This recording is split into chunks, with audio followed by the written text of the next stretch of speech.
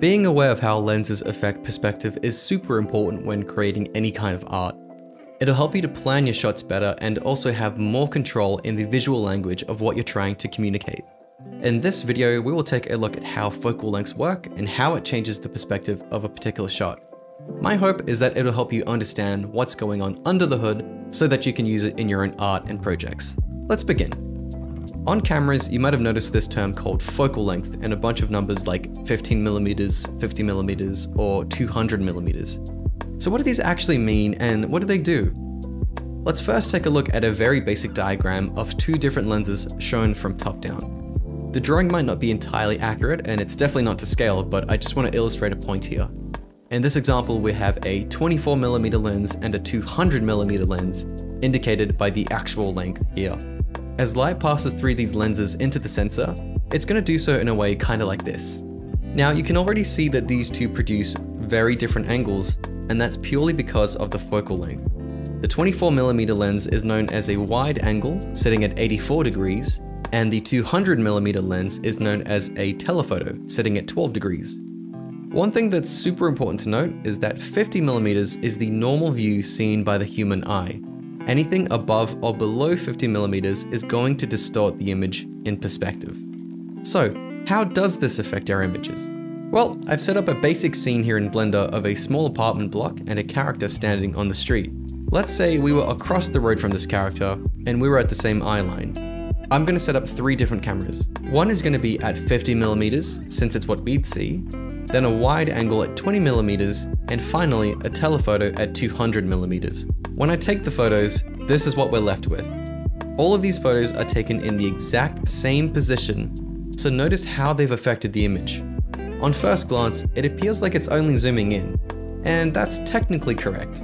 But check out what happens when I decide to replicate the same framing for each camera. In these examples, I'm trying to get the bottom of the street to touch the bottom of our frames.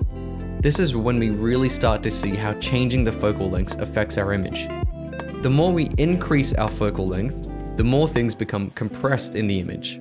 You'll notice that the distance between the curb and our character is shortening, and so is the side of this purple building right here.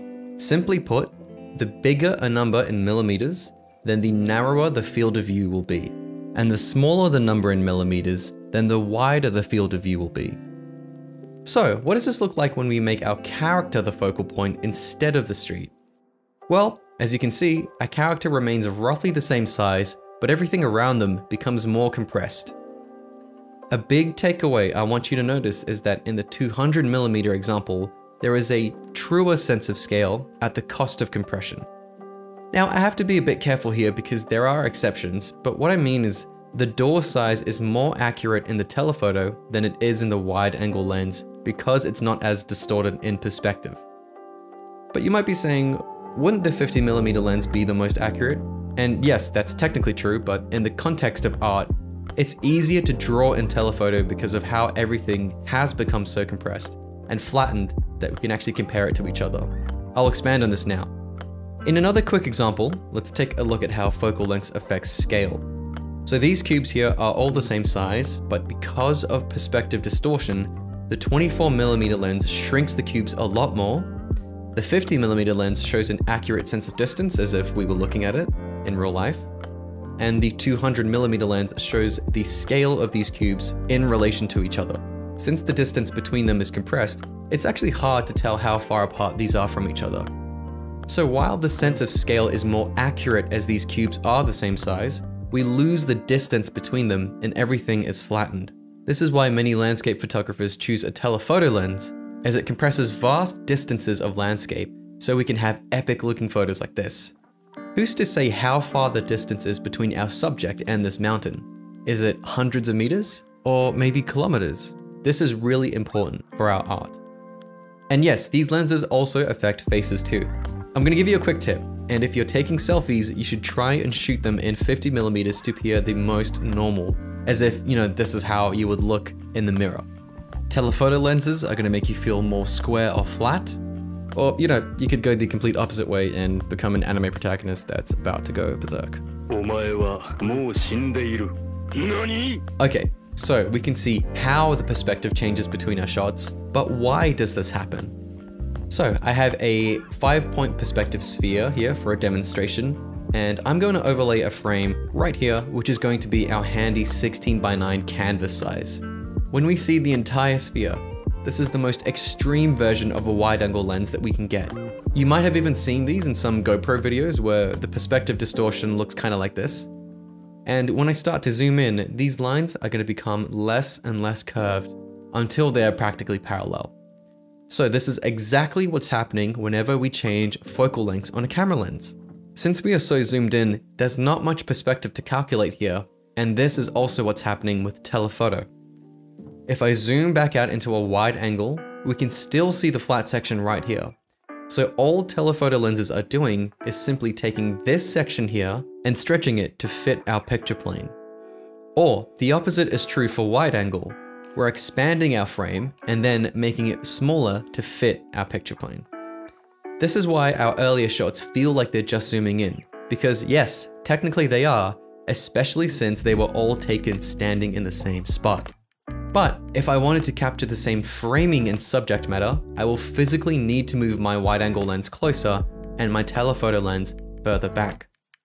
If we extend our field of view from our cameras in Blender, we can even see how this captures our picture plane, which in this case is just a 16 by 9 frame. Now, when it comes to art, I want you to be more mindful with the lenses you choose and what you're trying to communicate. And of course, there are no hard and fast rules, but here are some things I generally think about when considering lenses. For wide angle lenses, because they showcase much more of an environment, it'll be a good idea to use them when, for example, you're in an interior and to capture more of the room. They can also be used to make something feel dramatic and big or small. These kinds of angles are also used in POV shots from an animal since they would see much more of the environment than us. You might have seen this in chase sequences, for instance, in animation or film. And also wide angle lenses are chosen in lots of different pieces of concept art since, once again, they showcase much more of an environment. Here are some really good examples by G. Lulian. On the flip side, telephoto lenses are great for compressing things together and showing a quote unquote truer sense of scale in relation to each other. And again, there are some caveats here because it is also being compressed. In real life, you might want to use this for any kind of wildlife photography as you can really zoom in close to your subject, you know, without scaring them away. And I have this really awesome picture of a kookaburra that I took. In this piece here by Thomas Chamberlain Keen, the subject is also painted with a telephoto lens in mind and it creates a very dramatic silhouette of this character walking towards us. When you are sketching, you know, you could get in all kinds of nitty gritty measurements and perspective grids, but the simplest way I can describe it is if your vanishing points are closer together, it's a wide angle lens, but if your vanishing points are further apart, then it starts to become more telephoto. It's not entirely necessary to think of a specific number or to try and accurately draw a perspective grid to fit that. But as long as you're aware of wide angle versus normal human eye versus telephoto, you'll have a lot more control when setting up compositions. There are also ways to get a 50mm lens using this thing called the cone of vision, and Dan Beardshaw has a really great tutorial on how to actually do this, which I'll link in the description below. I also highly recommend these two videos from Feng Zhu and Realm Pictures as well, which do go on to explain this in greater detail. Anyway, that's going to bring us to the end of this video, and I really hope this one helped you out. If you have any questions, please let me know in the comments or on my Instagram at Daniel Ang Art. Until next time everyone, take care and stay safe.